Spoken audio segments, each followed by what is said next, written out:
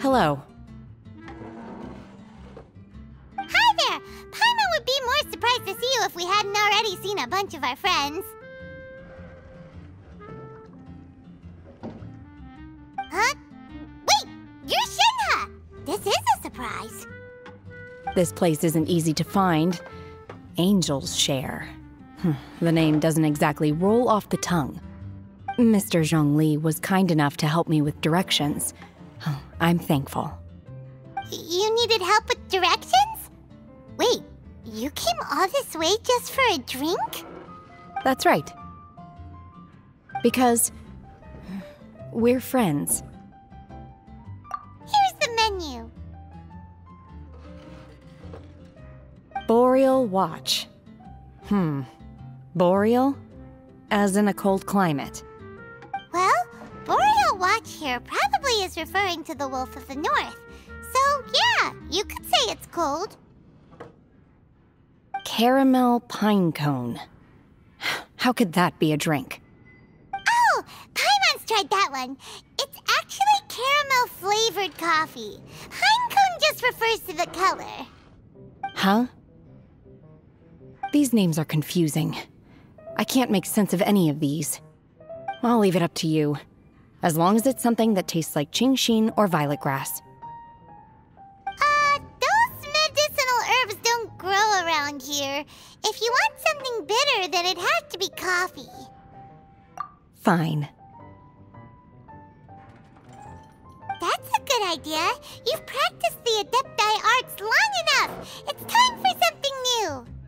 Let's make Shenhe a snow-covered kiss. It sounds like a perfect fit for her.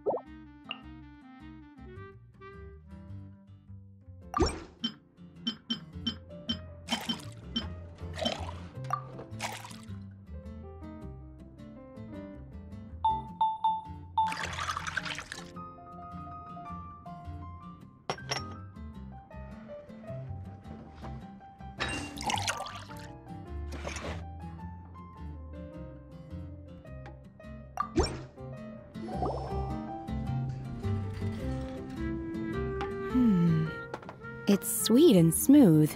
Not bitter at all. What is it? It's called a snow-covered kiss. Whisk milk until it frosts, then gently pour it over some juice. It looks like it's covered by a layer of snow. Don't ask why it's called a kiss, though. Paimon doesn't get it either. It's probably just a gimmick to get it to sell better. Uh, gimmick.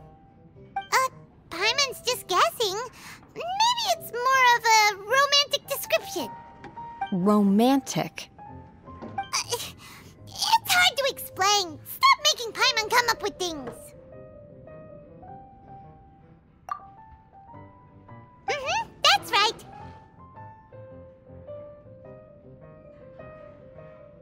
Oh.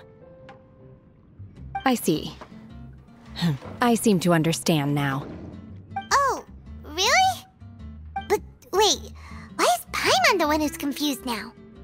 Occasionally, I chew on divine herbs as I wander about in the mountains. I have witnessed the moment a new sprout breaks through the soil. The elation in my heart then does bear a resemblance to what I'm experiencing now. Thank you for helping me understand these obscure names. I might need your help again sometime in the future.